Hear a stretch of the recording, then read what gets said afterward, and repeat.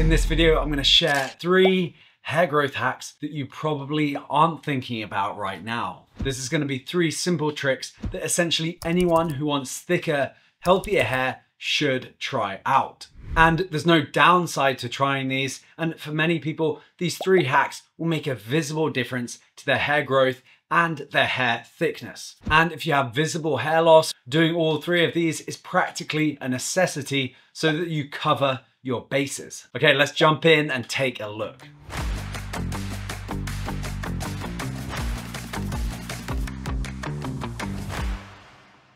Number one is vitamin D. Though we call it a vitamin, this amazing compound is more accurately described as a hormone. You see, by vitamins, we generally refer to substances that our body can't naturally produce and which it needs in minuscule quantities. Vitamin D, on the other hand, is naturally produced when ultraviolet radiation from the sun impacts our skin. And we require it in relatively massive quantities because the vitamin D receptor is distributed all over our body and has been found to affect over a thousand different genes. But unfortunately, due to our lifestyle that's increasingly indoors, most people living in Europe and North America are severely deficient, especially during the winter.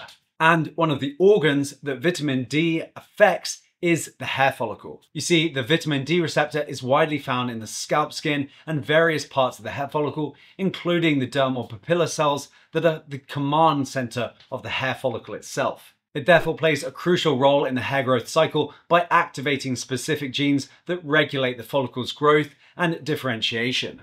Accordingly, when applied to the scalp skin in vitro, vitamin D has been shown to promote follicle maturation and stimulate new hair growth. On the flip side, people with a rare genetic disease that leaves them without a functional vitamin D receptor have no hairs whatsoever on their body, a condition called alopecia totalis. Vitamin D levels also tend to be notorious low in both men and women with hair loss. This includes not only pattern hair loss, but other types of hair loss like telogen effluvium or alopecia areata. For example, a recent study recruited a sample of 50 young men under the age of 30 diagnosed with androgenetic alopecia. They were compared against a control sample of men with healthy hair who are otherwise similar in age and socio-economic status. The men in the AGA group had an average over 30% lower serum vitamin D levels. 86% of these men were classed as vitamin D deficient compared to only 14%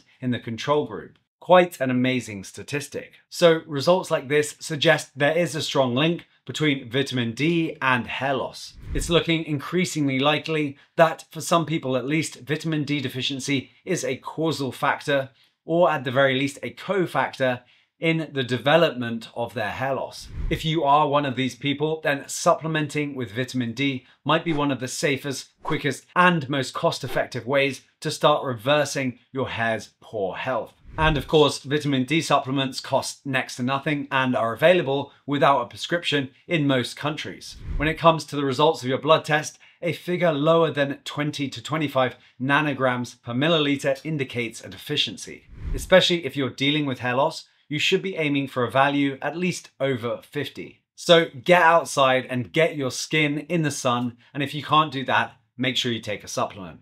Okay, next up, our number two hair hack is microneedling without minoxidil. So we probably all know about the combination of daily topical minoxidil and weekly microneedling. It quickly became one of the most popular treatments on hair loss forums like Reddit, and for good reason.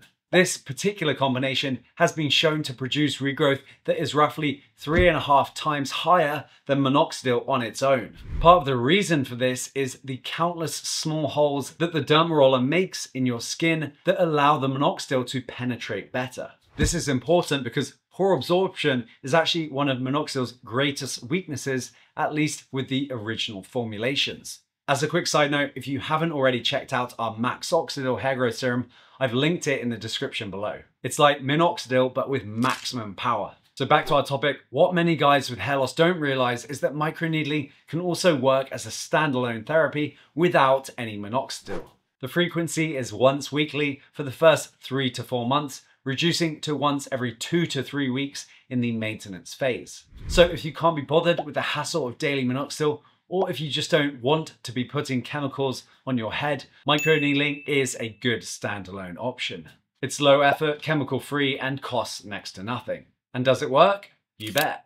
You see, the microneedling by itself can be enough to stimulate some dormant follicles back into life. It does this in two ways. Firstly, by breaking down some of the disorganized collagen deposits that tend to form around the miniaturizing hair follicle. This allows new, healthy, better organized collagen to take its place, improving the follicle's immediate environment. Microneedling also promotes the skin to secrete growth factors like platelet-derived growth factor, PDGF, and vascular endothelial growth factor, VEGF. These are messenger proteins that promote the formation of new blood vessels, increasing the blood supply into the balding areas. With regards to the effectiveness, one study found that standalone microneedling produced roughly 11 new hairs per centimeter squared. This places it between minoxidil and finasteride in terms of effectiveness. The same study also found that microneedling increases the average hair shaft diameter, giving, well, thicker hair.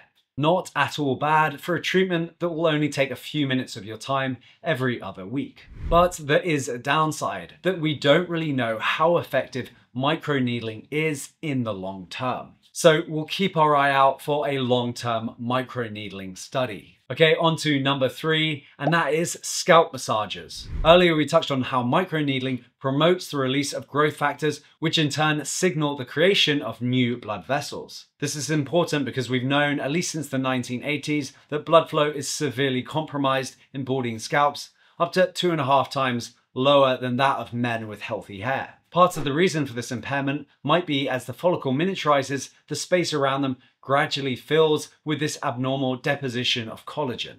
Eventually, this collagen hardens and turns into microscopic scar tissue, which scientists call fibrosis. The fibrosis squeezes on the vessels supplying the follicles, limiting the blood they receive and accelerating their demise. Eventually, the follicles shrink to nothing and the space they previously occupied is replaced with fibrotic tissue.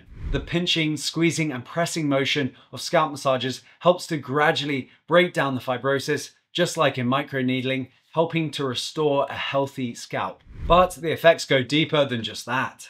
A groundbreaking 2016 study out of Korea recruited nine young men without any signs of hair loss. The researchers wanted to see the effects of daily scalp massages on healthy scalp and hair. And the results were startling. The diameter of the participants' hair shafts increased by 8%, meaning they literally grew thicker hair. And we know that part of the reason for this improvement is the mechanical stimulation of the scalp that changes the genetic expression of hair follicle cells. On average, around 70% of men with AGA who massage with their hands will stabilize and even partially reverse their hair loss. The one downside is that to see results, you'll need to massage for an average of 36 hours. Massaging for such a long time can get incredibly boring and tedious. Fortunately, there's a lazier and at the same time even more effective option than massaging with your hands. The best of these options is the fully automated hands-free Growband,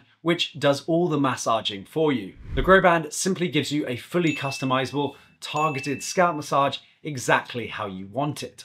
So you can basically sit back and let the Growband do all the hard work while you go about your daily routine. Also, because the Growband massages the entire scalp simultaneously, you can expect to see much quicker results compared to just using your hands. So if the idea of scalp massages appeals to you, then the Growband is a very good way to go. Because A, it allows you to stick to the treatment, and B, because it gets faster, better results. Okay, that's our top three hair hacks. If you do have any questions, make sure you leave them down below. I will personally make sure I answer all the good questions. Like and subscribe, and I'll see you in the next video.